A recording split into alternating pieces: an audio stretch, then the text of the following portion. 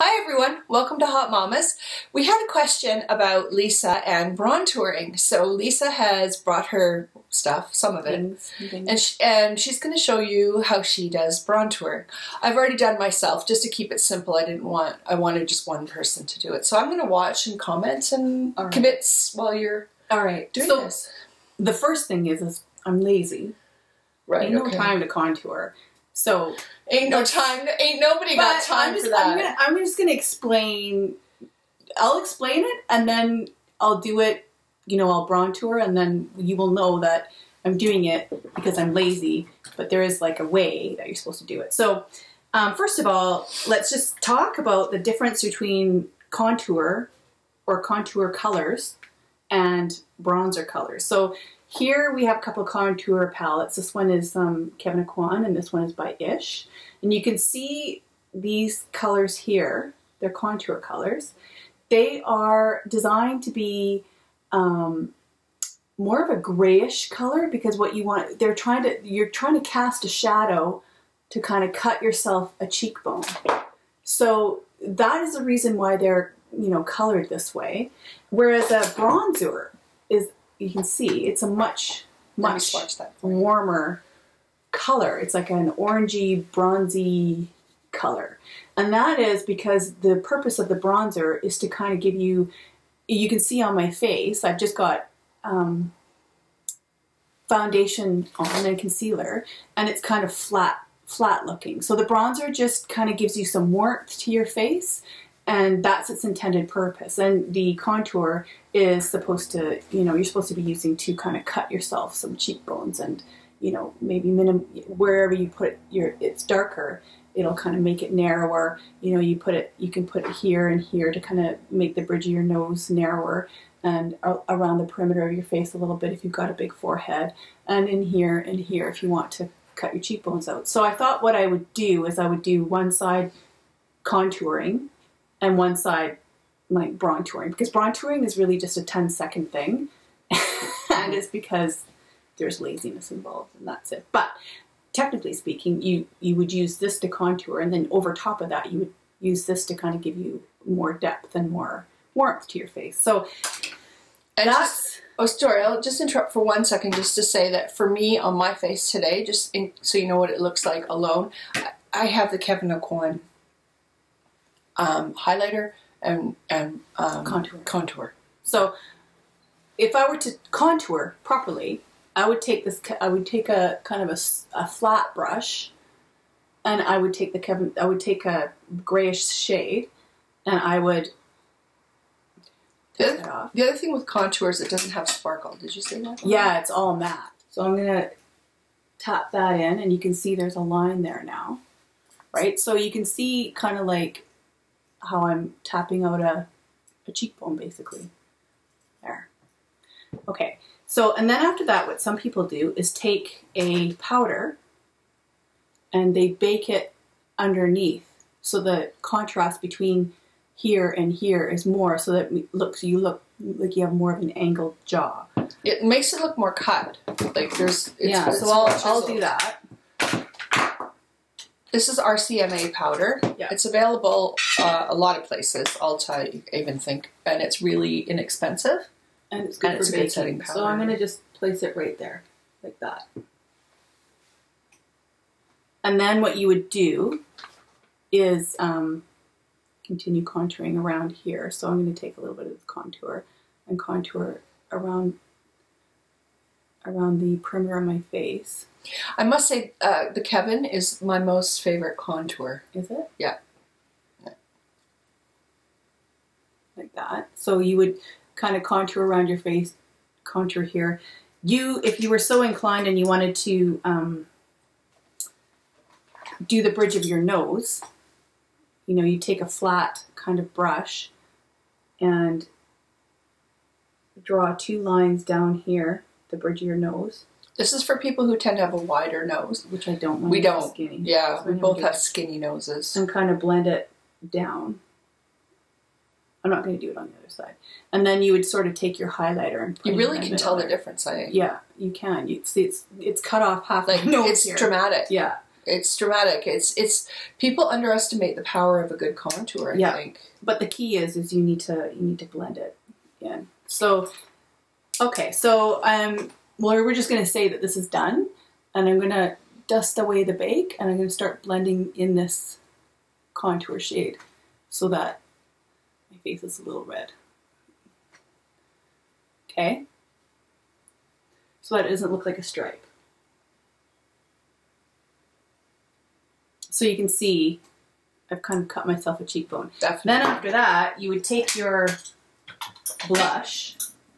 And I'm going to use this blush. Which is ambient. It is dim, Dim infusion. Dim inf- dim illusion.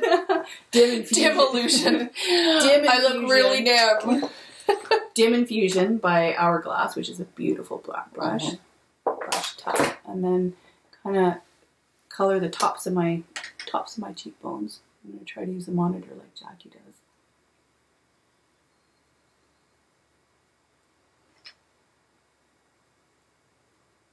Good.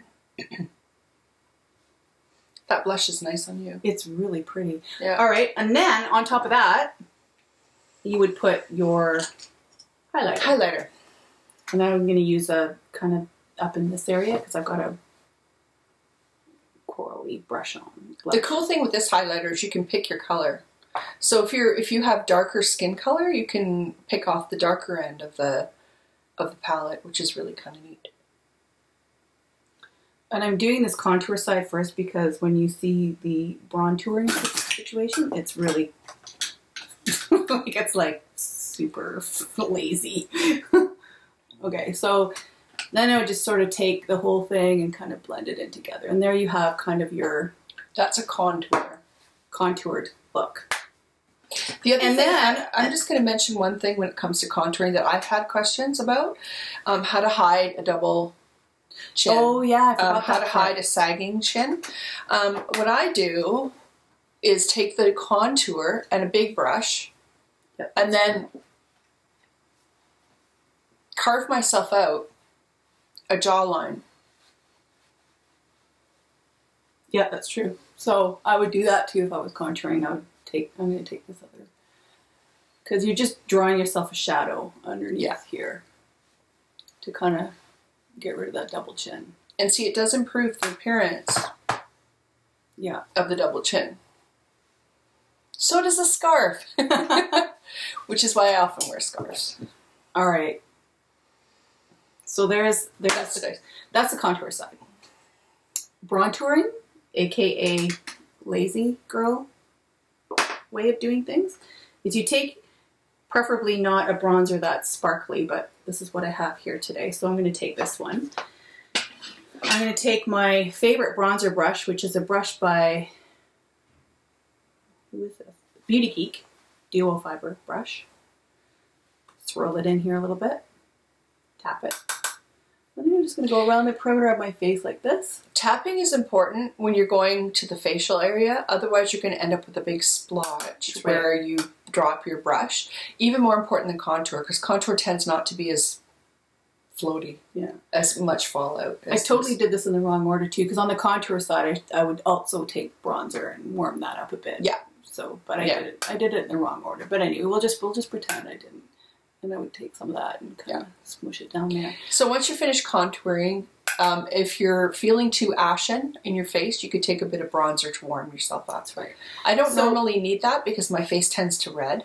Mine's a bit red today too. But anyway, so I've done this here, and I'm going to take this. and I'm going to pretend that I'm using it as a, a contour shade and just sort of cut this out. Now the thing with bronzing is, is instead of looking like a shadow, right? Because the warmer color is not designed to make it look like a shadow in order to cut out your cheekbone.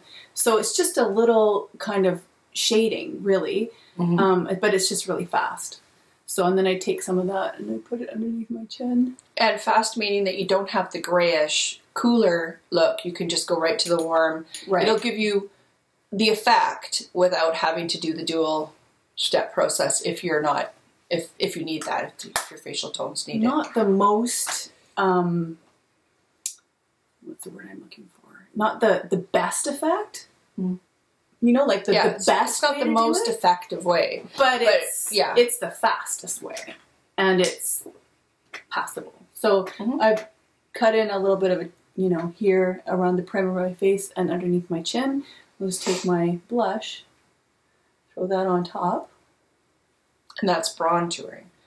Yeah, and so this side is bronzing. So I just I just use my bronzer as as contour basically, but knowing that it's technically not Yeah.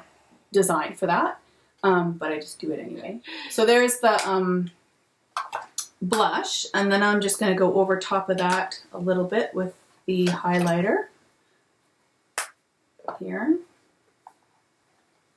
And the highlighter, I'm going to use my, my little highlighting brush, which is right here. So I'll just take that there. Kind of do a little V around the eye. And then you can take a, you know, kind of your powder brush and, you know, sort of blend it all together a little bit. And that's basically, and actually you can see on this side, it's kind of a better job of cutting out my cheekbone and this side is, it's okay. It's shaded. It, but it's, you know, it's, it's, it's lazy girl. It's a more natural, not It's lazy natural, but girl. it's lazy girl. it's lazy girl. So that, uh, to answer your question, that is contouring and bronzing. Yeah, that's it. That's Thank- it. Really, I mean, it's just as simple as going like this, like this, and under here, and Don't forget under here. Yeah. Thanks we for don't joining have any chins. No, no, nothing to see. nothing to see here. Just hide these uh, extra bits. But contouring does do a better job. Yeah. it just takes longer. Yeah.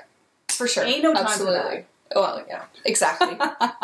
Thanks for joining us on HauteMamas Live. We're available on Twitter and Instagram at HauteMamas Live. We have a website called hautemamaslive.com and feel free to subscribe by pushing the button above Lisa's head. Ring the bell if you want to get an email when we have a new video out. Thanks again for joining us. Bye.